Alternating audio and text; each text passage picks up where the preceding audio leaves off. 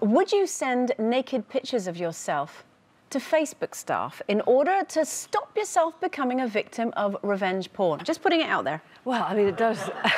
it does sound crazy. Literally you, putting it out. Yeah, putting it out there. Please don't put it out there. Well, you want to put it out there. I mean, I don't want to put it out there. When you see the headline, you think, really, what? But this is Facebook's response to revenge porn, which yeah. has become a real issue, a real problem for people. So this is what exactly, as you say, they are suggesting here that if you do take photographs of yourself in compromising situations, nude, uh, nude and sexual, um, then you send those in advance to Facebook, presumably as soon as they have done. They store them for you. This is their promise. That's nice. And, yes, nice. and, and therefore, if, if anyone tries to misuse those uh, photographs, disgruntled yeah. ex-lovers or just people being malicious, yeah. then Facebook will jump in and they will have an algorithm. We all know about algorithms now, don't we? Um, and they will block the publication of those photographs. So that is what they are proposing. It all sounds a bit perverted. Now. It's like taking a naked picture of yourself and then send it to them. And how many people in the office, the Facebook office, oh. are going to have a look at Well, they have said naked. all of these photographs will have to be reviewed by staff. They looked at an option where they wouldn't. Just the whole thing makes me furious, absolutely furious, because although I see somebody on the World Wide Web saying, oh, we've got a problem here, let's try and tackle it. At least they're recognising yeah. the problem. Fine. But the reality is, is that someone very, very close to me who's really high profile had their iCloud account hacked and pictures of them only in their underwear, mm. but still private pictures went online. What they'd sent to their boyfriend, hadn't they? Yes. Yeah. This person had to pay thousands and thousands of pounds to get them taken down. Mm. iCloud don't uh, deny all responsibility. It's your fault for taking the pictures and for not having a three-step or two-step verification on the account, which they don't tell you about when you sign up for, by the way.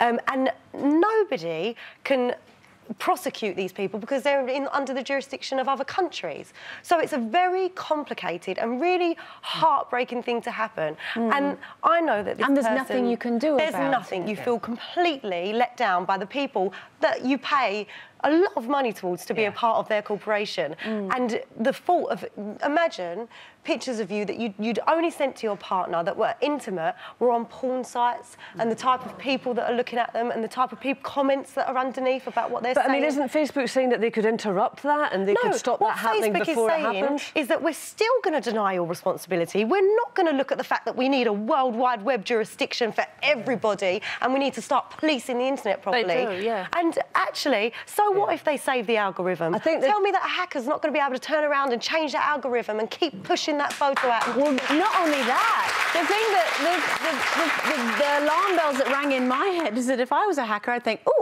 awesome. So all the pictures in the whole world, I don't need to start burrowing around over here. They're all in that drawer. Yeah. Because that's the equivalent of what hackers do, is they, they get into your house, they rifle through your drawers, they take your stuff and they sell yeah. it somewhere else. And but for very, some very reason, that's not a, a, a crime that can be prosecuted. If you were looking in your photos and you put the word naked or skin, all of your photos would then be in a folder all of like the fleshy really? photos, yeah, would come up in a sorted folder that your I would have that many in my folder. But even if it was just like revealing dresses or whatever, they all come up together. So all a hacker has to do, because they're algorithmed to be in the same folder, all a hacker has to do is go on the iCloud and search for naked, and then if he, if they see somebody that is in the public eye, yeah. great. Do you know what? I'm desperate to get this. I tell you. I'm desperate to get this out um, yeah. because I think at the bottom of this is these companies are saying to us, trust us, trust trust us with your private and intimate um, photographs. And I don't trust them. No. I really don't trust them. And I don't think anyone should trust them. Because this is for commercial gain. These are highly profitable companies, and I just must throw this in. This was actually in the Times this morning. This is a guy called Sean Parker, who was a president of Facebook, one of the co-founders. And what he actually says is he has become a conscientious objector to social media because what he has created, he takes responsibility for this, is knowingly creating or exploiting a vulnerability in human psychology. This is and the man who co-created Facebook. The co-founder of Facebook.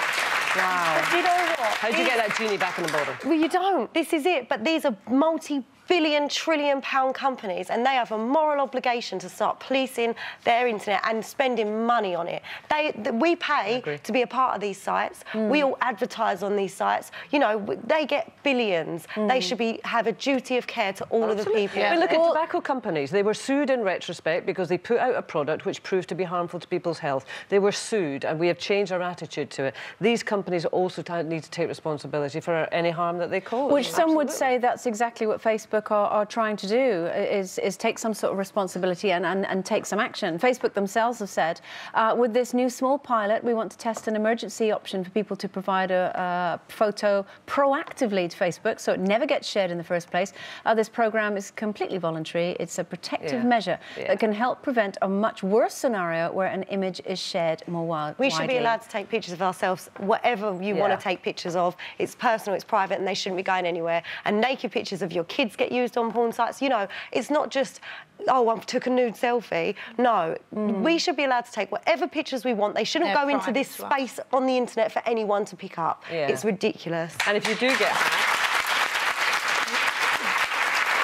if you do get hacked, you don't want them turning around and saying, well, it's your fault, you should have uploaded the photographs. And if you'd uploaded the photographs, it wouldn't have happened, you know, because yeah. get-out clause.